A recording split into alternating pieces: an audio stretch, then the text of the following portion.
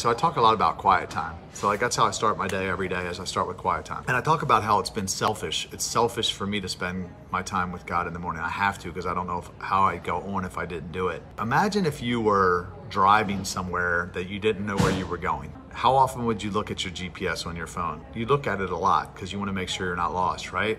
That's what my quiet time is like. My quiet time is like my GPS, where it's like a lot of times I'm driving, I don't know where I'm going.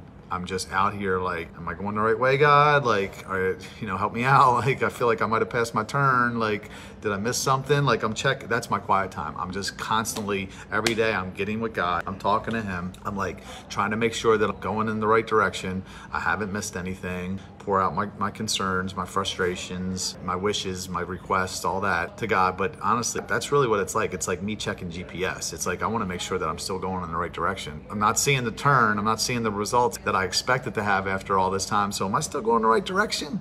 That's kind of what my quiet time's like. I think for people that aren't walking by the Spirit, it's easy to just dismiss quiet time because people think they don't need to pray. Well, you're probably not walking by the Spirit. And honestly, if you're not walking by the Spirit, you're probably not going to reach your full potential. Actually, not probably. You are not going to reach your full potential. Because look, only God knows what He put inside of you. You're not going to be able to bring out your full potential on your own because you're not the creator of yourself. So you might be out there, you might have some gifts and some talents, and you might be out there making money doing something. But at the end of the day, you're still operating on only a couple cylinders.